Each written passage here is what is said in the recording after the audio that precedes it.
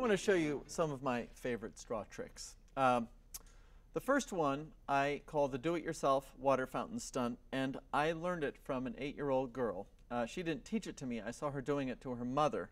Uh, I was sitting in a coffee shop in Massachusetts, and I was having kind of a dismal day, and I was sitting there sipping my coffee and looking out the window, and I, uh, all of a sudden, I heard this interaction between a mother and a daughter, and the mother was saying, "No, what are you doing?" And the, you're doing that thing you always do. And all of a sudden, I saw water shoot through the air at the mom, and she was all flustered, and water was going everywhere. And I, and I realized the water, the the girl was shooting water out of a cup with a straw. And so I'm going to actually show you the stunt and tell you what happened to me. So she had this cup like this. She had the straw inside it like that I need a place to shoot the water, so I'll put it right here. And the girl was doing this right like this. She was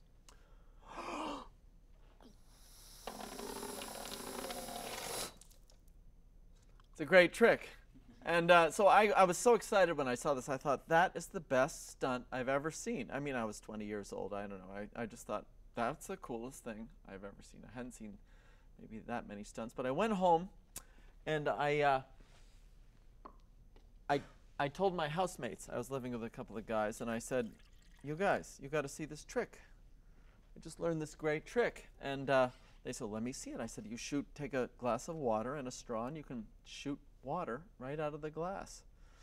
And I, they said, All right, demonstrate it. And so I put my mouth up to the cup, and I went like this. And absolutely nothing happened. And they said, Why don't you try blowing harder? And I blew harder.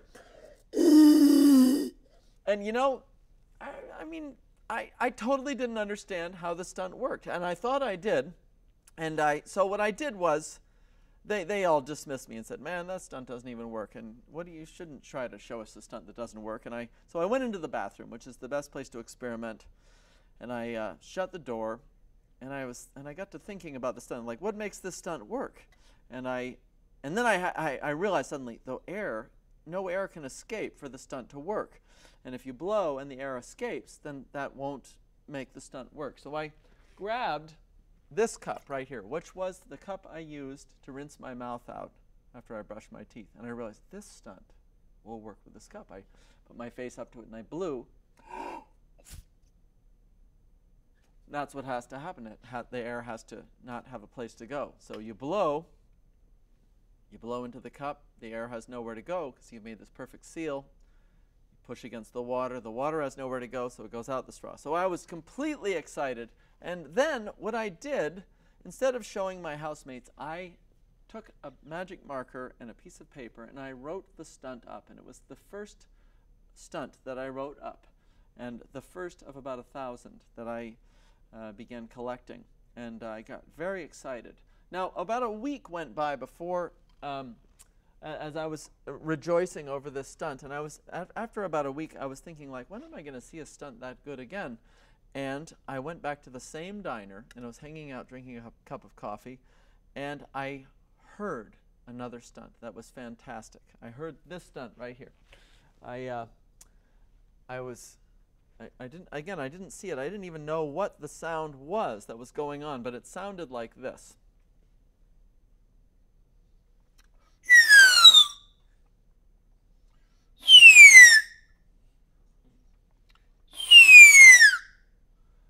And I, I walked around the diner, I walked around the corner, and I, and I saw these people at this table making this sound. And all that they were doing is they had the straw sticking in a glass of water, and they were blowing on the straw. And, and I, so I went home, and I thought, well, I'm gonna, I'm gonna figure out that stunt. It didn't look very hard. And here's what happened to me, and this is what'll happen to you too. This is just what people do when they do this stunt. I put the straw in the water, and I blew like this, and it went. That's just what happens when people try the stunt. And I experimented for, I don't know, for about a half an hour, and I realized that the secret to the stunt is, in fact, quite basic. But you take a straw, you stick it in the water, just about half an inch. Hold it down near the bottom like that. And then you place it in the water. You suck water into the straw. You pinch the straw quickly. You blow across the top of the straw letting go of the water, letting go of the straw. And it has to happen quite quickly or it won't work. But this is the sequence. So you put the straw in the water, you suck, pinch, and blow. And there you have one of the great stunts of all time. It's especially nice because if you do it right, you fill the straw really full of water, the water atomizes over the top and sprays a thin mist of water on all people that are nearby, making it an extra great stunt. Well, what I always say when I do uh, straw stunts, or any stunts, is that they're all connected. You pull up one stunt, there's another one waiting there close by. And a stunt that uh, was done to me when I was uh, little, when I used to have dinner at a friend's house, um, uh, my friend would do this straw trick to me. He would take a straw and he would put it in a glass of water uh, near me when we would sit down for dinner, and he would cover me with a, a thin mist of water, and it looked like this. And for the life of me, I had no idea what he was doing because he just looked like he had a straw in his hand and he was holding on to it like this. There was nothing mysterious about it. And for years, I tried to blow, to stick a, a, straw in water and to blow water out the straw so it would hit people.